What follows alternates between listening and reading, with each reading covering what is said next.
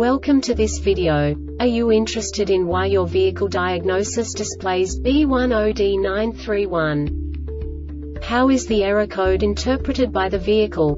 What does B10D931 mean, or how to correct this fault? Today we will find answers to these questions together. Let's do this. First, let's look at the history of diagnostic fault code composition according to the OBD2 protocol, which is unified for all automakers since 2000. We divide the electric system of automobile into the four basic units. Powertrain, body, chassis, network. This distribution is defined in the first character code.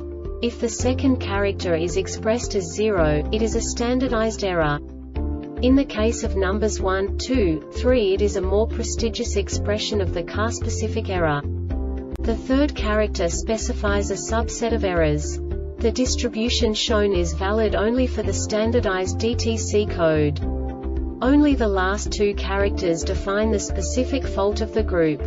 The add-on to the error code serves to specify the status in more detail. For example, a short to the ground.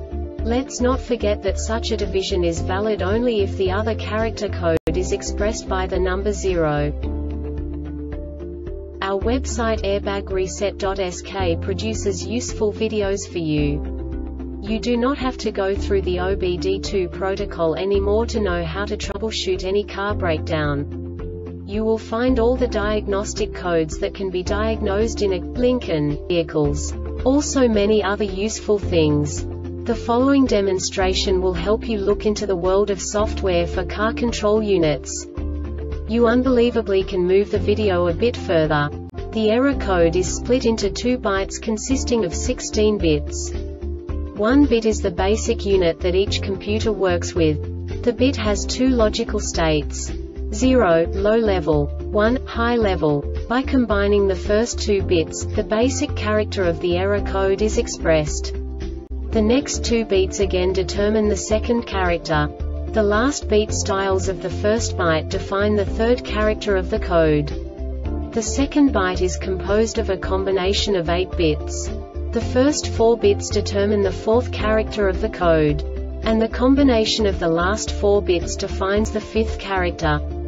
A single byte conceals 256 possible combinations. We now know in what way the diagnostic tool translates the received information into a more comprehensible format. The number itself does not make sense to us if we cannot assign information about it to what it actually expresses.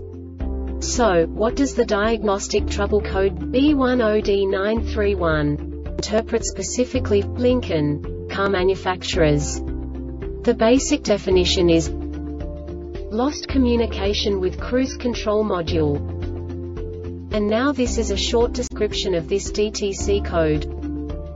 The system voltage is between 9 to 16 volts. The vehicle power mode requires serial data communication to occur.